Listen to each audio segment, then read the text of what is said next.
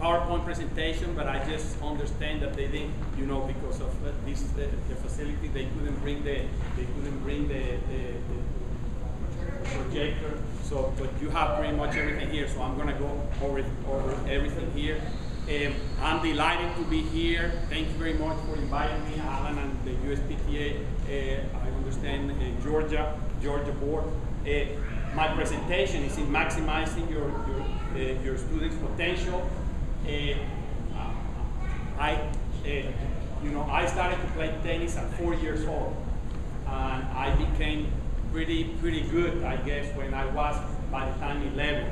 I played Davis Cup for Venezuela when I was 15, and I played, you know, for, for many years. I played for 18 years for Venezuela Davis Cup. I was captain the last two years that I lived that I live in Venezuela. I was able to play at higher level.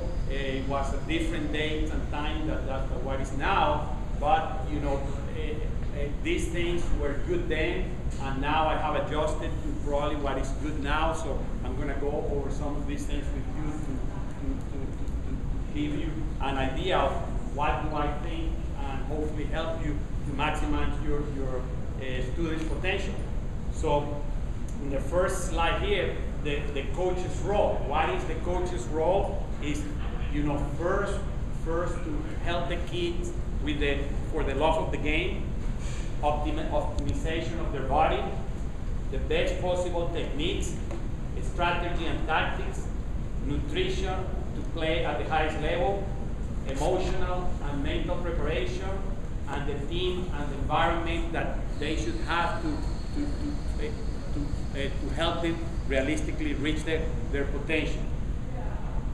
We, as a coaches, we are not experts in every single of these areas, but we need to be involved in order to make sure that our kids reach the maximum potential. In some areas, you might have very little to say, but at least you need to be aware of what's going on with your player, okay? And in other areas, you're gonna have probably maximum involve, involvement, especially, let's say, when they are on the court or when they are preparing, preparing for a tournament. I'm gonna start with the love of the game because I think everything starts in there, okay? I think when we find kids with passion for the game, that's one of the key ingredients that they need to maximize maximize their, potential. Uh, a lot of times that passion do not come for a while, or we might not see it at the beginning. But we as a coach gotta make sure that especially that first experience that the kids have on the court with us, the first experience that they have in competition, it could be something as simple as a play day or a, or a junior team tennis, uh, a junior team tennis uh, being part of the team, or an entry level tournament. It's our job to, to make them have a great experience for us to help them bring that passion at an early age. Sometimes the passion, the passion doesn't come for a while. Do you guys agree with me that a lot of times the parents are the one, hey, you know, I play tennis, I would like for you to try. The kids sometimes, you know, they're there because the parents want to. But, you know, if we help them find that passion, we are doing our job.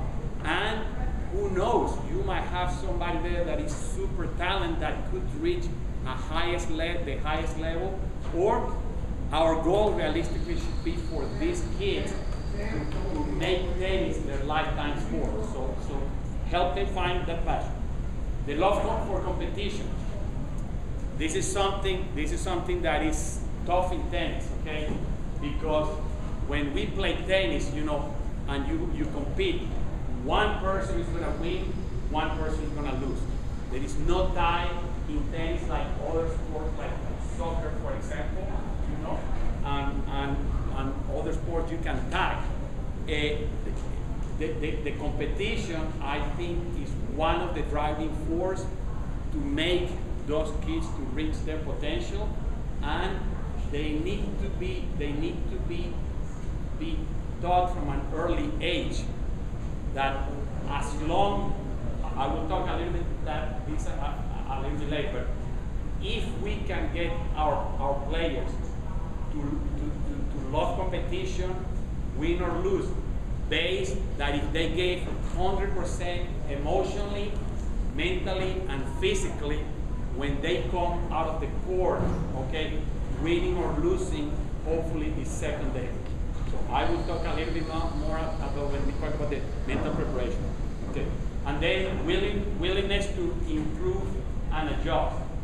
Uh, a lot of the a lot of the, the kids, you know, they want instant gratification. They want to be able to go ahead, go on the court, and you know, be able to hit the ball right away. And we know tennis sometimes is not that easy, but our our job is to make sure that that, that, that they learn, you know, from an early age to improve and also to adjust, not to be playing, you know, the, the, the, the same way throughout, throughout their, their, their, career, their junior career.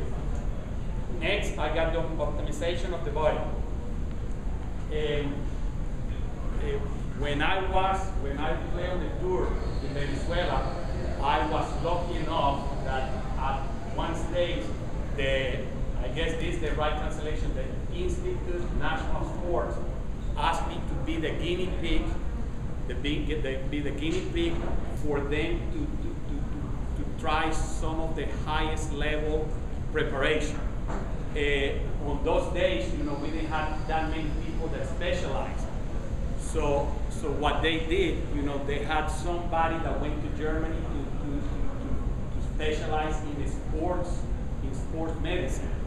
And, and that person asked me to, you know, to give me a test based on sports, not based on, you know, uh, open your mouth and, you know, check, check everything. I mean, it started, you know, with a blood test and then I, at the highest level, because what he was trying to find out, it was if I was, if, it, if I was 100% fit, fit physically, not tennistically, to play at this highest level.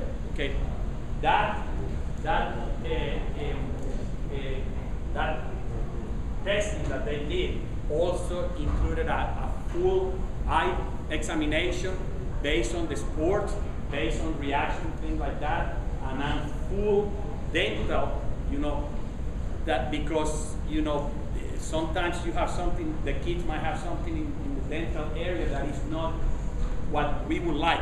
And when they did that, I'm going to mention specifically my, about myself. When they did that more specific, specific uh, uh, testing in my dental side, they found out that my core, my, my wisdom teeth, my wisdom teeth were a little bit too, too uh, grabbing in a certain area, and then that would create extra tension here. And you know, when I surf too much, and if I play a long match, I have a lot of tension here. When they used to give me the massage, I used to have a lot of tension, and they found out that, so I had that taken out after a while with that.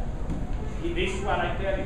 You know, you guys might not be a dentist or an eye doctor, but if you have kids playing at the highest level, they should get a full physical. I would recommend at least a year and make sure that they get they get their eyesight tested and their and, a full dental dental testing so to make sure that they don't have any weakness. Okay. Also, very important, especially nowadays with, with how how physical become the game is injury prevention. Okay. When I went to this test many years ago, uh, uh, Mark mentioned before, they found out that I had a little bit of weakness in my ankle, especially in my right ankle. I twisted, I have, by that time I have twisted my ankle a couple of times, and of course because, because of that, you know, I had to do extra, extra preparation for that. But after, when they found out that, they gave me the right exercises, they did the right injury prevention, and I still had weaker ankles, but I never had an injury like I had when I was one time I had a major injury playing Davis Cup when I was 16 years old, and then I had an, another big injury when I was in college. I think I was maybe 21 in my right ankle. Both times was in, in my right ankle. But after with all the exercise and the injury prevention, I was able to do a lot better when I was on the tour. I felt a little bit weakness every so often, but I, like, like I said, I never had a, an ankle injury that prevented me weeks like I did, like I did with, I, was, I was uh. Also, it's very important, you know, for, for, for these physicians to find out also the strengths or the possible weakness that your players might have. Okay, I go again. You guys might not be directly involved in that, but this is something that if you want to help your players reach your max, maximal potential, you should have some kind of involvement have some kind of some some, some kind of suggestion for the parents or the people that are in charge of these kids. So that way, you know, they are not training for months and months, and all of a sudden they get an injury that it would be prevented or it would be strengthened before they become it becomes a, a, a major a major situation. Now the next uh, the next uh, uh, slide on my on my presentation would be the best possible techniques, and this is where we where we get more more involved. Okay. I truly believe, I truly believe, uh, and I know not everybody still agree, that three years ago when the USTA went and did 10 and under tennis, that they did the right thing. The ITF has done it for many years, and other countries have, have worked with that for many years. And, and basically, you know, basically when we went to 10 and under, what, what the USTA was trying to create a bigger base of players. So we, we have a pyramid, we have the bigger base, and then we could peak at the top. And, and eh, it's still, it's still, it's still a work in progress, but I think it has worked, it has, it, it, it's working pretty good if you use what, what we are supposed to use. Basically, when you have kids 10 and under and they are introduced, you know, I think the key for them is to learn rally and play rally and play. So that way they can rally and learn. Okay. The technique, the better it is, the better the better it would be for, for the future. But at that stage, at that stage, that technique is going to change quite often as they, they grow older. Um, also, if, when they are 10 and under, we got to make sure that they de develop the right athleticism, okay? That is not only is not only uh, uh, to, to, to, to rally and play, but try to try to start developing a complete game, even though they are 10, 10, 10 and under kids, and they might be playing on the 36 foot court, on the 10, on, on, on the, on the uh, 60 foot court with the red balls or the orange ball, that they can develop, you know, a full game playing, playing at the highest level, at the, at the at the uh, at the um, uh, age that they are playing. Um, I gotta tell you this short story. Okay, uh, I run the Southern Tennis East at my facility. We just ran, ran it during Southern during Father's Day in June, and a few years ago, and some of you might know him. the best 10 and under boy or girl that I've seen, his name is Josh Rapp. He won that tournament he won that. he won the Southern Tennis. I want to say two or three years ago. I saw him last year at the Junior Tennis National Championship, and he told me that he's from Georgia, he's from Norcross. Uh, he told me that he was number two in the country in 14 and on. He has run all that. But what it caught, what it caught my attention a few years ago with Josh is when I watch him play, okay, I would watch his footwork and to me, to me, he simulated a, a mini Federer. His strokes were fantastic.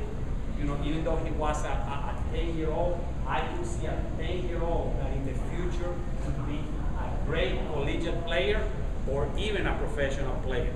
And up to now, he, he is in the right path. Like I said, I think this is last year was his first year in the 14, and he was already number two in the nation in the 14 and under.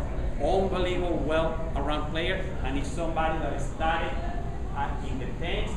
That year, if I'm not mistaken, he only lost two games in the whole tournament, the day that he was going to play the final, say, Josh, you are so good. Why did you play the 10 and unders instead of moving to the 12? You're already number four in Georgia. You could have played in, in the 12. And he says, I believe, and my coach told me that if I play the 10 and under, I would develop better, and it would be better for me for the future. So that, you know, that came through, came through for, for Josh. So, okay. So, repeating again, in the 10 and under, I think we as a coach, we want to give them the best possible overall game, but the key for them would be to, to do as much rallying and playing so they can rally and learn. So that's the basic, what I think in the 10 and under. In the, in the 12 and under, one of the things that is key, okay, for the 10 and under, uh, the, the difference between the 10 and under and the 12 and under is realistically in the 10 and under, the most consistent player, the person that pushes the ball the most, is going to win. Where in the 12, now you you got to start developing a more all-around game. You need to try to start developing a, you know, a little bit more offensive shot. When you have the right ball, you gotta you gotta hit it with a little bit more pace, and you gotta you gotta be able to hurt the opponent with your with your shot more often. So the technique start to become more more important. One of the things that I think we need to, as a coaches, develop very at a very early age, and I would suggest as early as 12 and under, is an offensive second serve. Most of the kids that I have seen, you know, in the last few years, basically what they do, they have a decent first serve, but they have what I call a push second serve. And they should develop an offensive second serve. Okay. What is one of the best ways to develop a second serve? Number one, to have a very good technique. So this is where we can get involved. Okay. Number two, practice specifically second serve. There are many, many ways that you can practice second serve, and you can create games as you know playing only as as a second serve. Okay, I'm gonna tell you again one of my own stories. Uh, when I was when I was uh, 16 years old, I already have won the national championship of men's in Venezuela. I was playing Davis Cup already for, for, for Venezuela, and the two other there were two other teammates of mine in the Davis Cup team. On this on those days we didn't have four, we had realistically only three of us that could play Davis. We had a fourth team when we played when we played in Venezuela. We, we traveled, we traveled some other way, the, the federation didn't even bring a fourth. And those two other, other players were already in the United States in college. So in Venezuela, for a while, until I graduated for about a year and a half, I didn't have too many people to play. I had to play the people with handicap, you know, giving, giving uh, 30 love in each game and things like that. I won one year, I'm not sure if I'm proud to say this, I won one year my club championship. I won three rounds and I didn't lose one, one game in the whole one game was my club championship. I won three matches, and I won all three matches, six love, six love. And you know, I didn't have too much competition.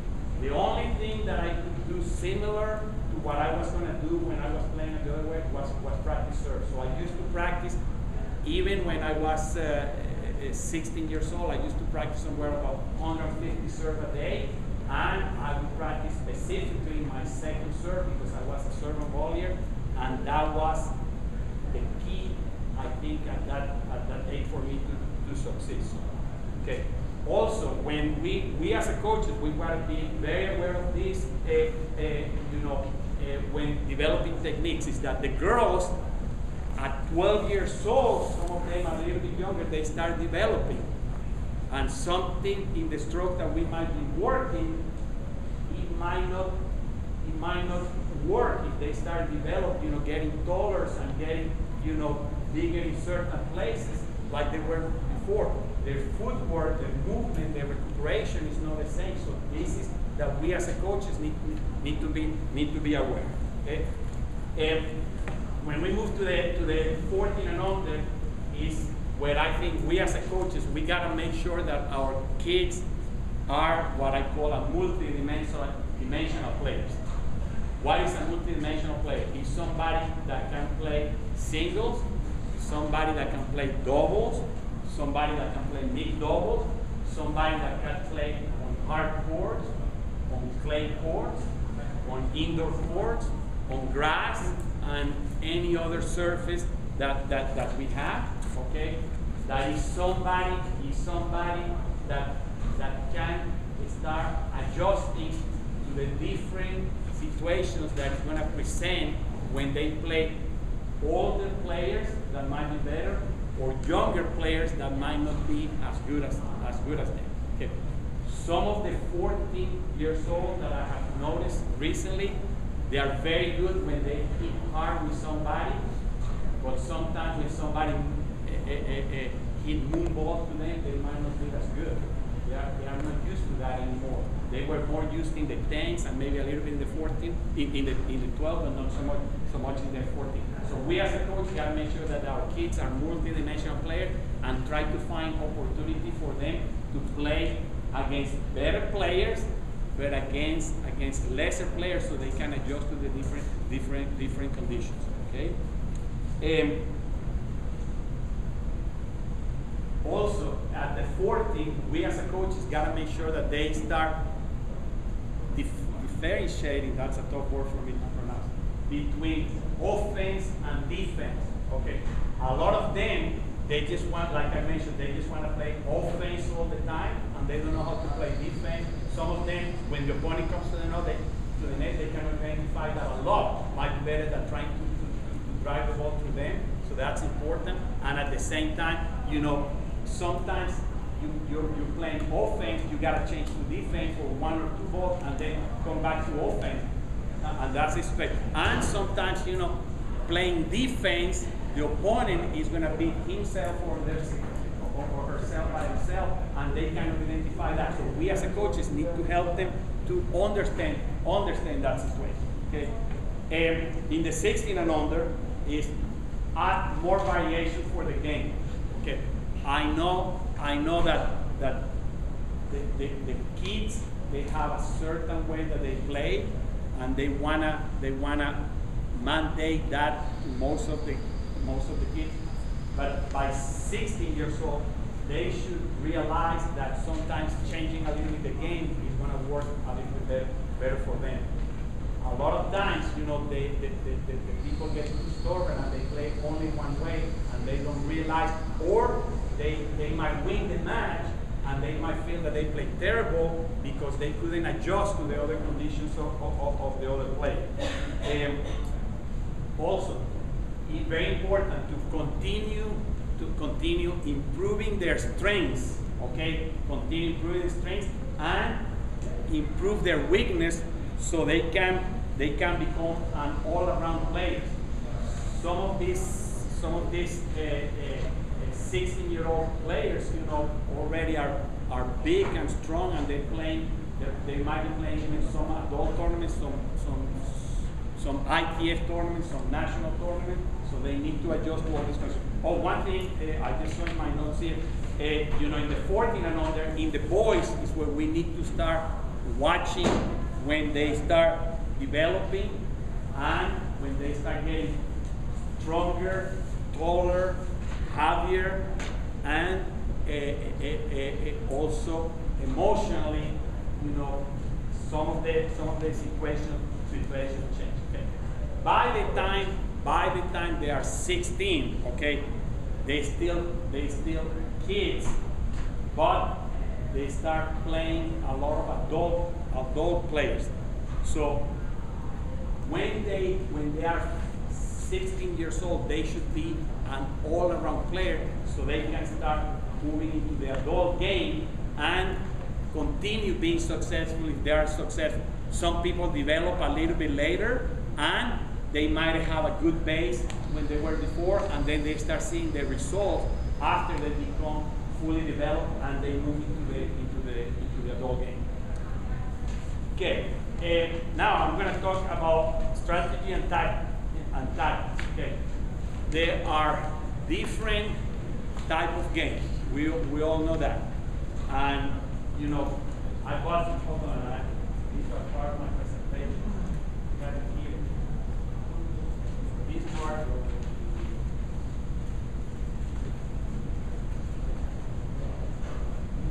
Going my bank on Thursday. Okay, so I brought it here. So, so I, I, I want some participation for you. Can anybody tell me some of the different styles of playing that they are out there with our with our with our uh, players? Anybody? Baseliner. Baseliner. Okay, very good. Okay, so serve and volley. Not too many here left, but we got you get the pink one. Okay. Corner punch. Counter puncher. Very good. Okay, so I have I have two more, but I couldn't find it. But if anybody else can tell me, I'll give it to you when you say. What, what else do we have? Scrambler. A scrambler, okay, or it is also like I'm not looking at I'm okay. Okay, So we have we have we have different game of players, okay? So so you know we need to we need to help our players become better at what they do good, but at the same time we need to work with them often in the areas that they need to improve. So this is where we as coaches we can help them help them in doing that. Okay. Second, uh, in strategy and tactics, I call it we as coaches need to show them and help them to play to win, not to play not to lose. Okay? Give you an example. Somebody is winning and you know have been winning, let's say serve and volleying, okay, being a, a- an attacker baseliner, and he gets to 5-4, has won the, the, the first set, 6-2, has it gets to 5-4 in the second in, in the second set, and he changed completely. They try to keep the ball in play, so they play what's called not to lose. Okay. And you know, there is a saying that we know you never, you never change a winning game. You always try to change a losing game. And we as a coach is something that we need to aware because a lot of a lot of our players sometimes they don't know how to close because they don't play to win, they play not to lose. So That's an important part for, for us to know. Okay. Knowing how to adjust the game, you know, sometimes they are winning one way, like I said before, and the opponent decide to start throw moonlock, moon- moon ball. And they can handle the pace, but they cannot handle that, that kind of situation. Um, I tell you this, uh, and I, he, he just retired recently. One of my fa- favorite players of, of all time, uh, Fabrice Santoro for, from France. You guys seen it? See Fabrice Santoro? He was somebody that could adjust to different different situations. And the players in the tour, I didn't talk to anybody or anything like that, but I guarantee you they hated to play that guy because he always was changing the situation. You know, he would serve and volley sometimes, he would throw you that slice on both sides. Sometimes he hit, he hits hard, sometimes he start throwing moon lock, moon balls.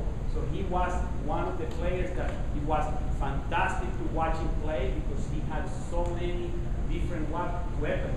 What he didn't have was power. He didn't have too much power. So he was he had to use all this all these kind kind of different things. So we need to help our kids and show them and work with them on how to adjust to the, to the game.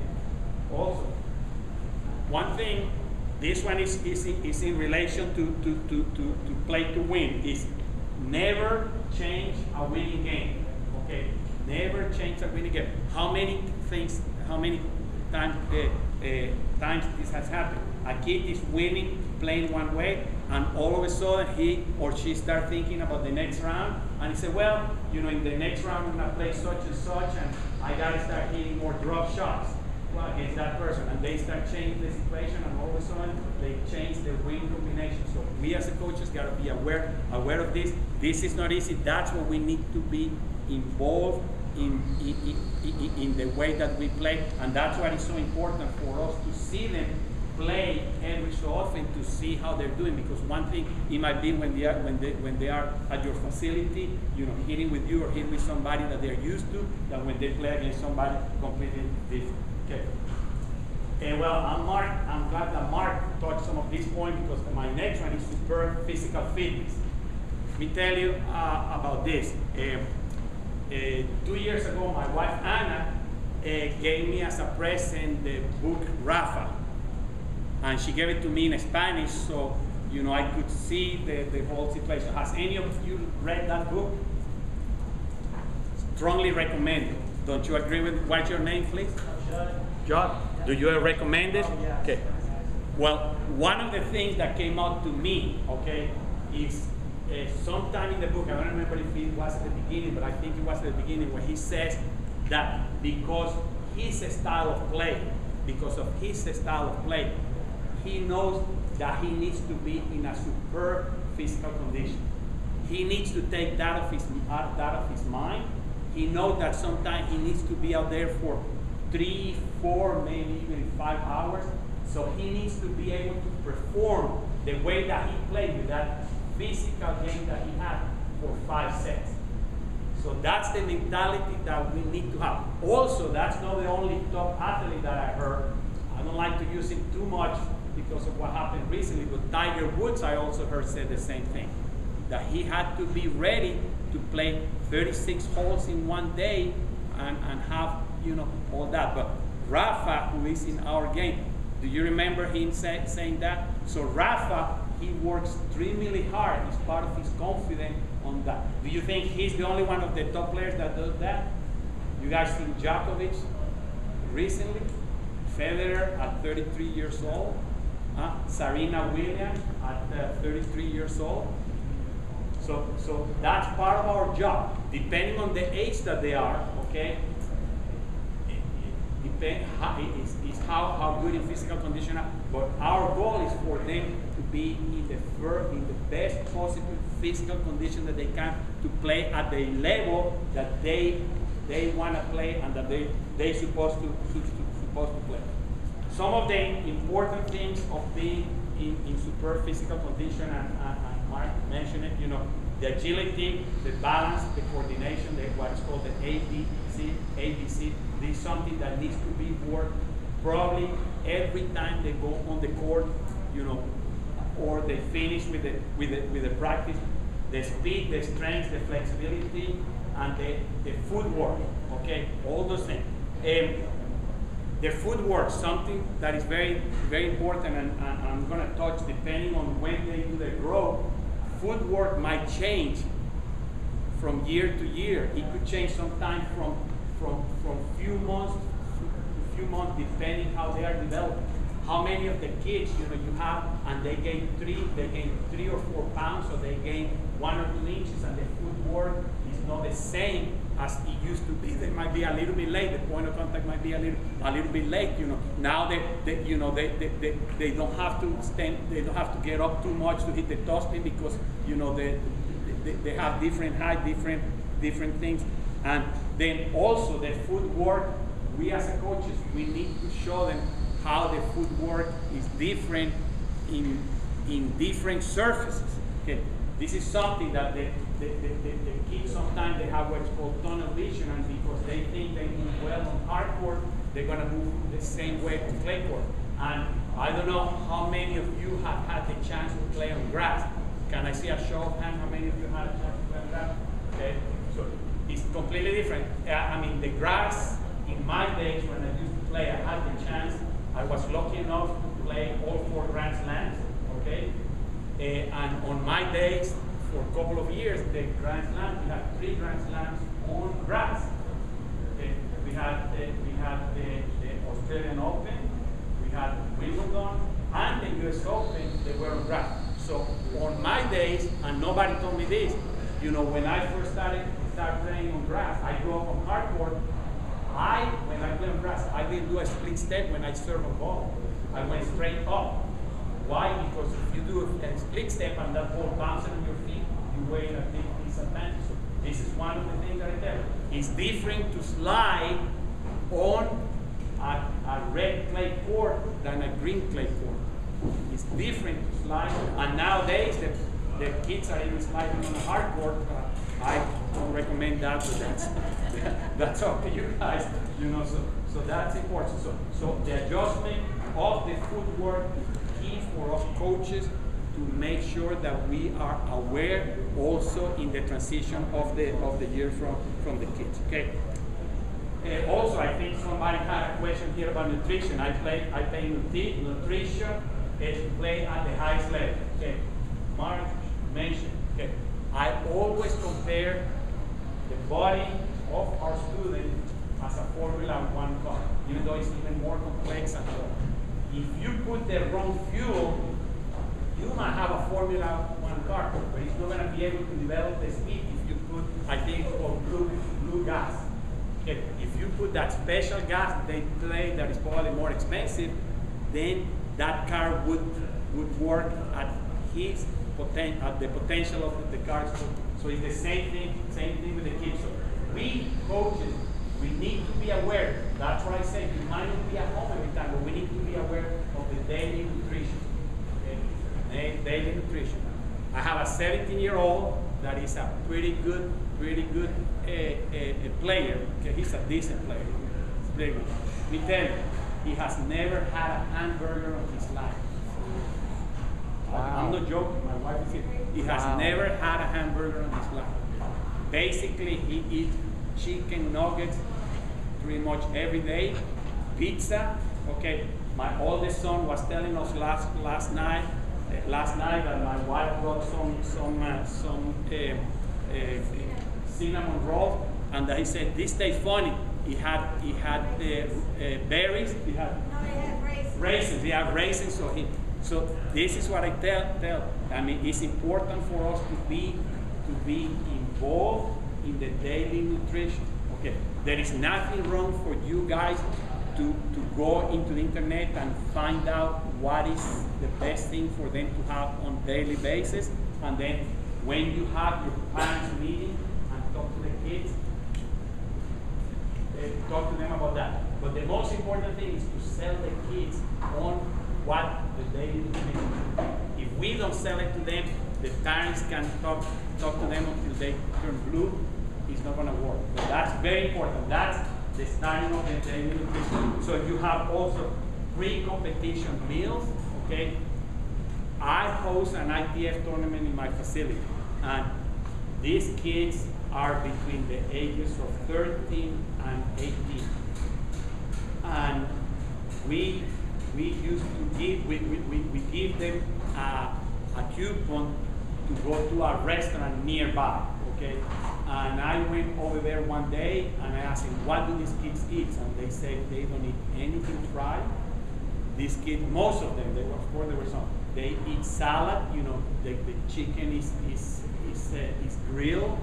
Uh, you know, they don't have sweets, you know, they, they, they, they are, the, the IT, the kids that play ITF, they know about these pre-competition meals better than I think of a lot of our kids. You know, it's completely, they know how to eat in advance. One of the things that I noticed, they also like Subway a lot. They think that Subway, so we as coaches, we need to be involved in that. And sometimes we might have something to do if we go with a group of kids or with a kid to a tournament, then we can see some of these things, some, of the things what that they, okay.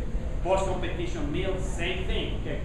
Ideal, ideal is that they eat within 45 minutes after when they finish, higher in carbohydrate, okay.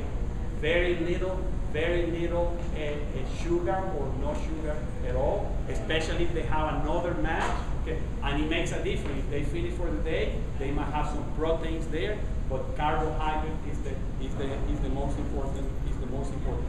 Also hydration.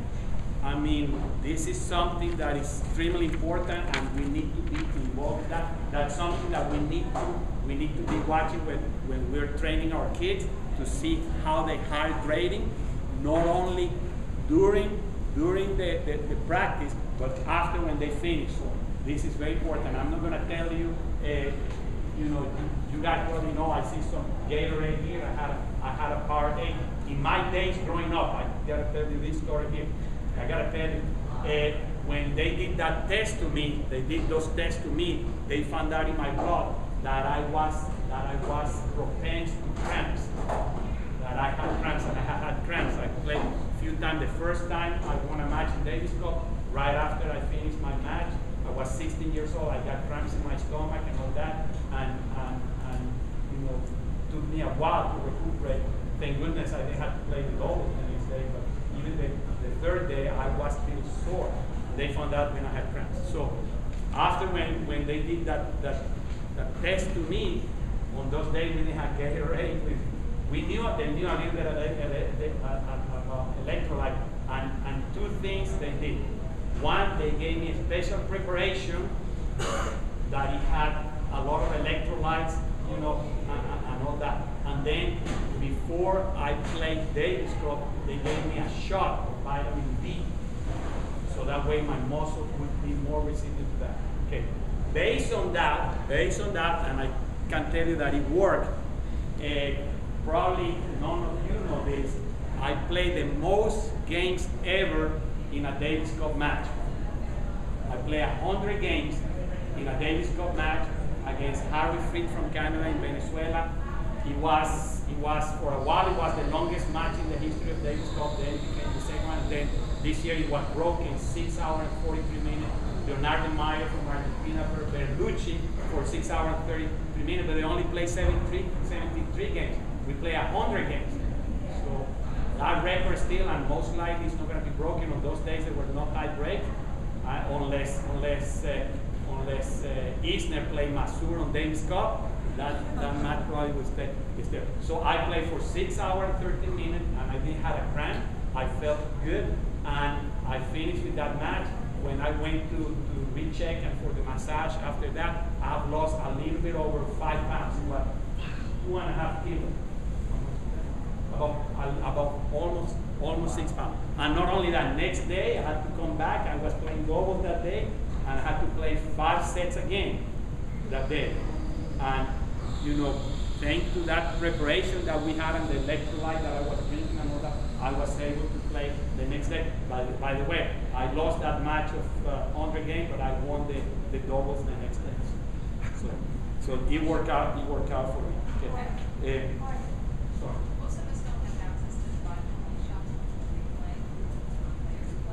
Uh, I'm not sure if they're legal now, but I would think I would I would think so. Yeah, and in those days they told me that the shot was better because it would go directly to your body. But then after, when I was on the tour, I would take vitamin D supplement because I couldn't get the shots. You know, I, I could take, I could have the shots. So I would think the vitamin D supplement would help. No, the, the, the, the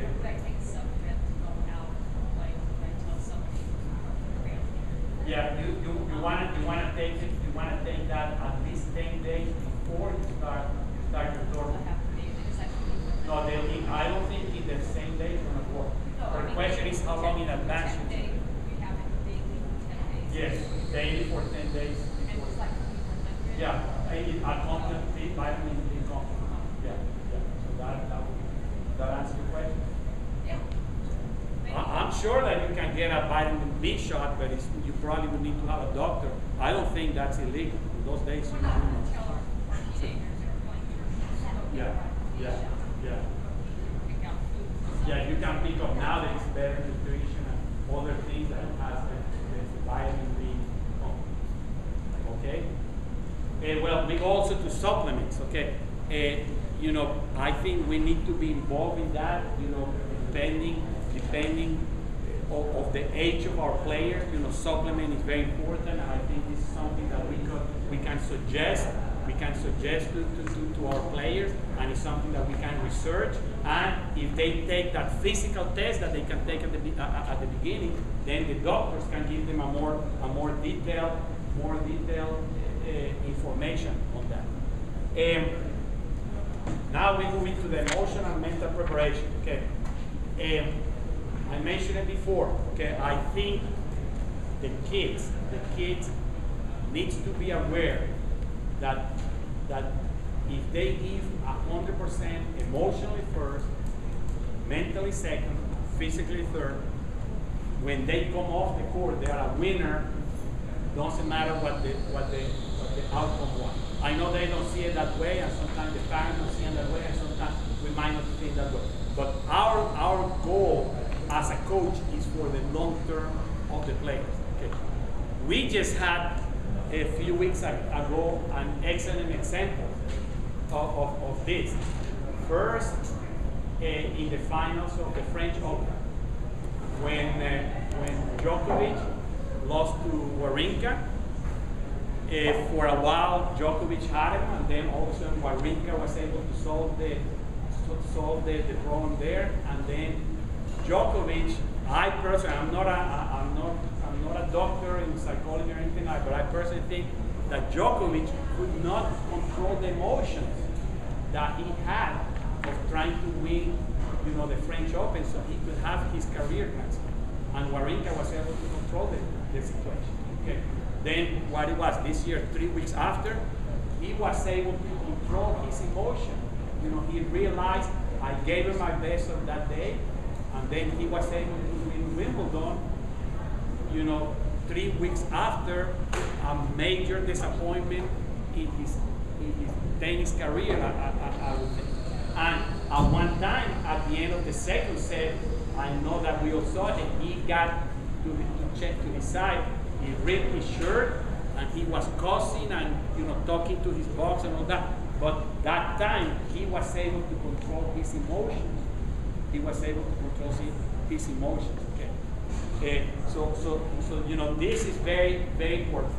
Uh, the emotions, I think, is one of the driving forces of the performance of our players. And my dad told me at a very young, young age that the day that somebody invented excuses, everybody came out okay. Because if you go in, in a situation, even if it's a perfect day, the people can say it's too hot, it's too cold, the wind, they gave me a bad call. They can find any kind of excuse. So, so you know, the emotion is what it controls the rest of, of the of the playing situation. Second is the mental side. And the mental side, I think this is easy to say, but very difficult to do. Okay. I think one of the things that we need to work with our kids is to teach them to be in the here and now. Know what's going to happen if I win the next point. Know what happened, what happened in the game before. They cheat me. I had an easy forehand volley and I hit it at the net. But I go again, this is a lot easier said than done. But what I have learned, okay, through the years is that the same way that, that you have your kids practice your forehand, your backhand, your second serve, you gotta practice your mental side. Okay, you gotta practice and show them what is, what is important is stay in the here and now and play that point as is the most important point of the whole of the whole time. But again, this is easier said than done. This is very difficult to do, and even the pros, I tell you again, even the pros, Djokovic in the final of the French Open, I think his mind started wandering. He started thinking what he was going to say, you know, when he got the trophy and how he was going to feel and his emotion and the mental side got a, a, a little bit uh, of, away from him. And Wawrinka realized that situation and he emph emphasized that. Also, let me tell you, Serena is, you know, when she controls her emotion, I think we all agree she's the very best player in the world right now. The only person that can beat Serena is Serena. At the moment, there is nobody out there that realistically can beat Serena. If she can control her emotion, and again, you know, I'm here saying it, criticizing probably the greatest player of all time, or not criticizing, but if she can control her emotion, her mental part, there is nobody that, that, that can beat her. That's very important. Okay. Um, also, we as a coaches, we need to be very aware of what are the routine of our players, you know, before and after every point. We need to realize, you know, what do they need to do to be in the here and now before they're gonna play the point, and how to get to the here and now right after when we when we finish when we finish the point. Uh, I'm sure you guys, uh, Dr. Jim Loehr, the famous Dr. Jim Loehr, he's a sports psychologist, but he's a tennis tennis player. He's a tennis player, and he's he studied his sports psychology in tennis. He has become big times, big times now, and but he started his root in tennis. he invented a few years ago what is called the 16 second cures. Is what you have to do in the 16 seconds after when the point finishes. Win or lose. Look it up in the internet. Excellent video, still up to date. And when you see the players, the players, they do that. I gotta tell you another story here. I was at, in, in, in, in Palm Spring at the tournament this year, uh, this year in, uh, in um, uh, Indian Wells, okay? We, we, I gave a presentation during the tennis owners and manager conference for the TIA over there. And that night we got invited to the owner's box. Okay, very nice. And we are ordering a drink. I'm next to Jim ordering a drink. And he gets a text. Okay, he gets a text on his phone. And he says, uh, that player was playing Isner the next match. And he says, uh, can you come to my hotel room? I need I need for you to reinforce certain things. And at the bottom, I think I can say this, at the bottom was said sign no. It was Djokovic text. So Dr. Jim Loehr, he cannot publicize, I think I can. He worked with some of the top players. I don't know how many of you knew that he worked with uh, Djokovic on the mental side. And then, and then uh, the next day, uh, Djokovic did, uh, did uh, Isner, I think it was pretty easy. But, you know, he gets the training. And I'm sure the reason I tell you this is because I'm sure that Djokovic knows about that 16 second cures after every point and about his routine. So look how many times he bounces the ball, look what he does before and after the point. If one day the Federer does it, Nadal do it, they all, they all, they, they might not as a different thing. They, they all know that. So we gotta gotta be able to help our kids with that situation. Okay. Um, Uh, you know, I talk about Nadal. I talk about Nadal in his book. And I've been lucky enough to see some of the greatest players of all times playing live. Okay. I was able something in particular like that, very close, close second. Uh, in the women's, I don't know if you guys remember Steffi Graf. I mean, she was fantastic. She knew how to solve the situation where she wasn't playing her best. And, and, and Serena is pretty good too, but I would think Steffi better in, in, that situation. Okay? Now, we're almost at the end, and I want to talk about the team and the bar. Okay? You know, believe it or not, our players have a team around there, around there you are part of the team. You are probably a very part of, very important part of the team. But it's, it's very important that even though we don't get involved in everything, we should know a little bit about everything everything that they do. You know that, that what I told you at the beginning. Okay, so one of the things that we need to do to put all this together is know the periodization of our players in all these stages you know, and in the periodization, you have what is called the preparation stage. Preparation stage should be depending if they have a major tournament, it should be somewhere between six and eight weeks before the tournament, okay? And we work in all these areas, the technique, tactics, nutrition, preparation, uh, all these things that, that we do, okay? Then you have the pre-competition stage. The pre-competition stage normally is about two weeks before they do. Let me give you an example. If you're working in certain tactics, you want them to play sets using those tactics. If you're working in something, the technique, you want them to play sets and be under under those tough situations two weeks before to see how it works. It's not the same like playing a tournament. Sometimes they might play a pre-tournament, you know, they might play a pre-tournament to see how these things are, how these things are working in a, in a situation.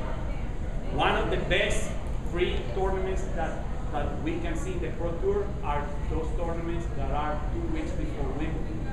You know, you have the French Open, now they have three weeks. You have uh, uh, Queens, a lot of the players play Queens, you know, play Halle, and what is the other one? There are three tournaments now in the men's and the women's are coach.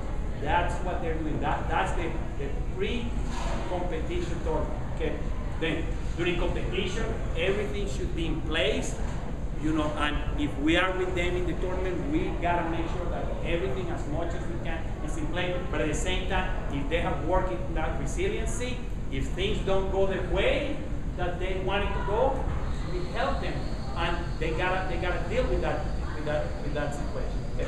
And then post competition is evaluating how they went in the competition and then help them what is the next step? What do we need to do? Do we need to take a step back to, to improve certain things, or we continue going forward so that way they can they can become better? Okay. Also, part of the team, the family, very important.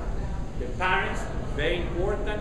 The brothers and sisters, very important. They gotta be part of that team. Sometimes, sometimes they try to they try to stay a little bit away, but most of the time, what happens with the parents? They want to be right there at the front. So we need to learn how to deal with this thing. The more they know about how the whole the whole situation works and about how your program works, the better it's going to be for you coaches. Okay. The school. Okay. We need to we need to also guide guide our kids to well in school because if not, that team is going to be out of sync. If the kid doesn't do well in school, if they're doing great in tennis and the parents are school oriented, they're not going to let them play tennis. You guys agree with me? Or they're gonna make them study more. So part of your part of your job as a coach is to make sure that they're doing well well in school. Okay. Um, the facility where you are, make sure that the environment is welcoming and everything is in good place. You know, if you have different court court surfaces, how they play in different court, court, uh, court surfaces. Make sure that that also the, the, the, the, the people in the facility are part of the team. They might be a, not a direct part of the team, but they might be an indirect part part of the team. Okay, they're friends. Okay, you want to make sure that they, of course, if they're playing tennis at a competitive level, most likely their friends are going to be are, are going to be uh, tennis players.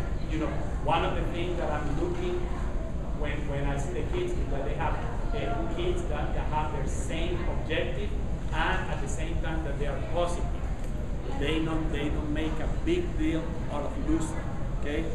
Uh, other things, you know, this is important also. You know, the the economical uh, situation of the kids. You know, if there is problem somewhere, you know, make sure that their equipment is in the best possible possible situation situation that, that they have. You know, that in their house the things are working well. Not only with the parents, but with the siblings, you know, and in school, you know, that they are not being bullied in the school, and at the same time that you know that that, that, that they are good kids, okay? Because to finish, to finish, okay, to finish this, okay, our goal as a coach, okay, is to try for our kids to reach their potential as players. But even more important, our goal is to make tennis their lifetime sport so they can become great kids, great citizens, and even better people for the rest of their life.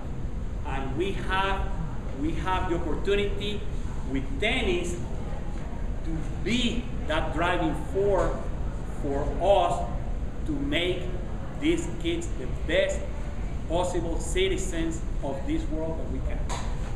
Okay? So with that, I open it for some questions. I got a couple of minutes for questions. And I hope this gives you an idea. So if anybody has any questions. Well, thank you very much. Again, thank you for the invitation. I'll be here for all little while and thank you for all the questions. So I appreciate you listening to me.